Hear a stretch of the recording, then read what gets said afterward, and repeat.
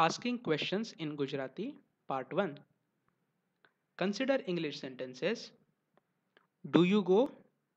Did he go? Will she speak? Was he dancing? These all are our basic questions in Gujarati English. In Gujarati, basic questions can be formed by adding shu. So, by saying shu before an statement, it will be converted into a question and we say it in a question tone.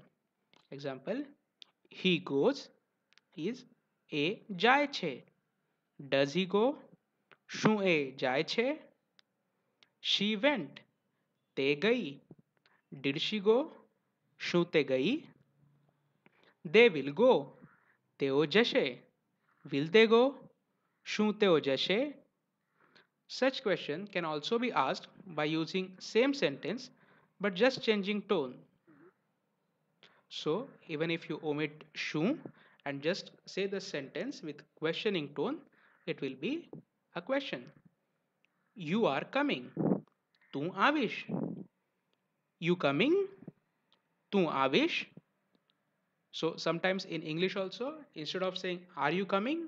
you can say you coming? Same concept we use in gujarati. Tu avish.